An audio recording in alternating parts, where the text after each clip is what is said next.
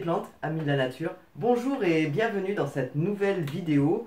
Dans ce mois de novembre, ce mois sans tabac, où je continue ma petite exploration et mes petites explications euh, sur les plantes aidantes au sevrage du tabac.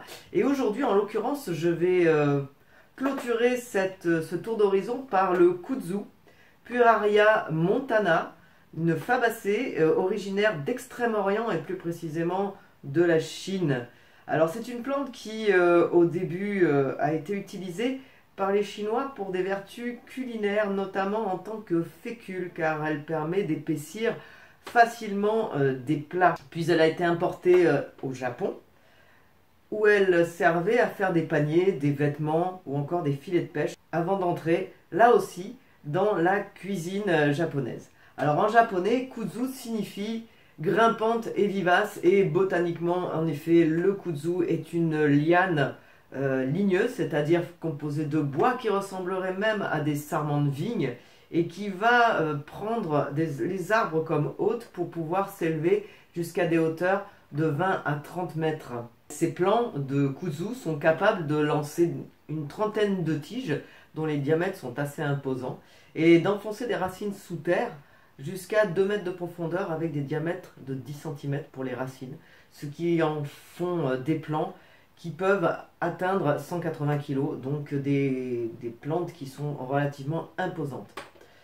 Le kudzu est un digne représentant de la famille des fabacées, notamment ceci va se voir au niveau de ses fleurs violacées, qui sont regroupées sur des grappes de 30 à 80 fleurs, et qui euh, ont cinq pétales euh, avec une disposition bien particulière à la famille, c'est-à-dire qu'elles vont avoir première pétale en haut comme ça, on appelle ça l'étendard, deux pétales sur le côté que l'on nommera les ailes et deux pétales soudés comme ça en forme de coque de bateau que l'on appelle la carène.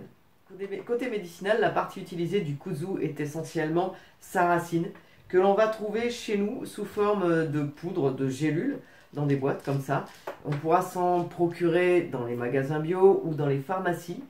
Et euh, les, doses à respecter seront euh, indiquées sur, euh, sur les boîtes, bien sûr. Donc ne jamais dépasser 500 mg par jour.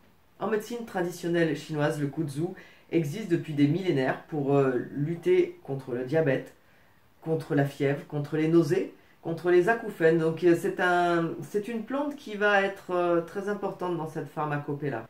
Si je vous en parle aujourd'hui, c'est que euh, dans nos sociétés occidentales, on s'est rendu compte que le kudzu va être d'une aide remarquablement efficace dans les sevrages à certaines drogues, à l'alcool, mais également au tabac.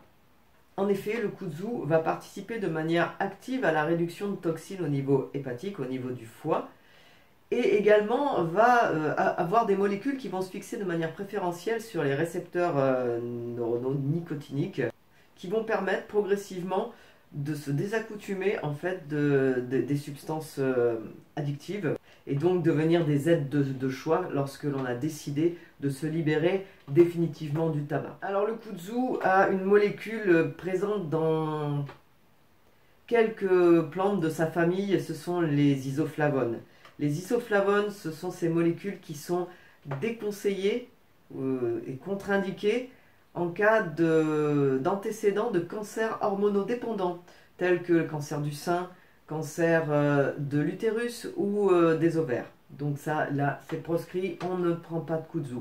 Le kudzu va également entrer en interaction avec certains médicaments en, en diminuant l'efficacité, par le fait qu'il se fixe préférentiellement sur certaines certains récepteurs euh, du cerveau, et il va rentrer en interaction, c'est-à-dire inhiber les effets des antidépresseurs ou des anxiolytiques ou autres médicaments de cette catégorie-là. Donc il est préférable de ne pas le prendre dans ces, cas-là.